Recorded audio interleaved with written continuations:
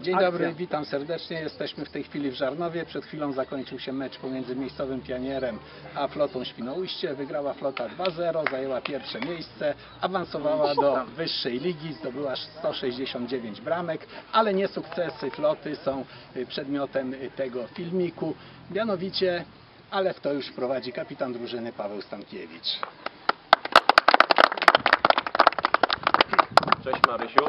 To zwycięstwo i ten awans chcieliśmy Tobie zadedykować. E, mam nadzieję, że wyjdziesz, będziesz z nami chodziła na mecze. Na pewno jak wyzdrowiesz, to przyjdziesz do nas na mecz i będziemy Ciebie... do- Jak Ty nas dopingujesz, tak jak my będziemy Ciebie dopingować. Wspierać. A ja dodam tylko, że chodzi o Marysię Waś, sześcioletnią dziewczynkę ze Świnoujścia, y, chorą na nowotwór mózgu i to w ramach akcji pomocy dla niej. Y, W tej chwili drużyna przygotowała niespodziankę.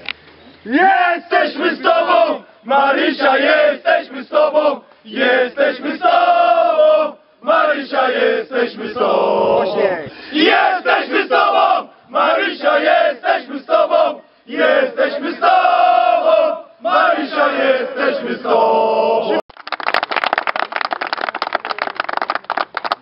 Śpiewali zawodnicy floty Świnoujście, y, lidera właściwie już mistrza klasy A.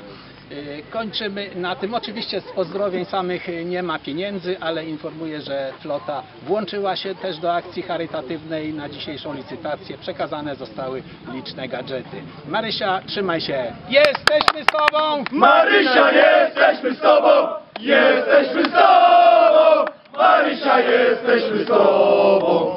Jesteśmy z Tobą! Marysia, jesteśmy z Tobą! Jesteśmy z Tobą! Marysia, jesteśmy z Tobą!